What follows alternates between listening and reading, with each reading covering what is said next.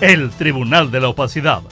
En pleno proceso electoral, el presidente del Tribunal Electoral del Estado de Aguascalientes, Salvador Hernández Gallegos, temeroso de que se conozca su real proceder, ha iniciado una serie de acciones de opacidad al interior de este organismo. Pero a pesar de que pretende imponer vetos de todo tipo contra quienes no le siguen el juego, Hernández Gallegos no logrará impedir que los ciudadanos conozcan que se mantiene el reino de terror laboral que ha impuesto al interior del Tribunal Electoral, donde se siente todo un virrey tercermundista.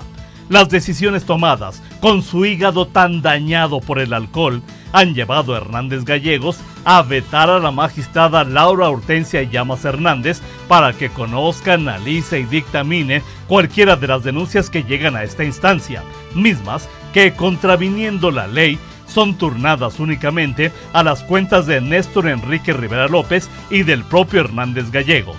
Pero la violación de las leyes y las normas es lo que menos le importa en este momento a Salvador Hernández Gallegos, pues todo mundo sabe que lo único que ocupa su mente es el arranque de la Feria Nacional de San Marcos, donde, como ya lo ha hecho en otros años, comerá y beberá hasta embrutecerse para que cuando le lleven la cuenta, hacerse pato y exigir que le cubran sus borracheras con dinero del pueblo. Por cierto, chava, ya tienes una estrategia para salir del embrollo en que tú mismo te metiste con el asunto de Fernando Alférez o tu mente obnubilada por el alcohol no te deja pensar claramente que estás en un berenjenal del cual no saldrás bien librado.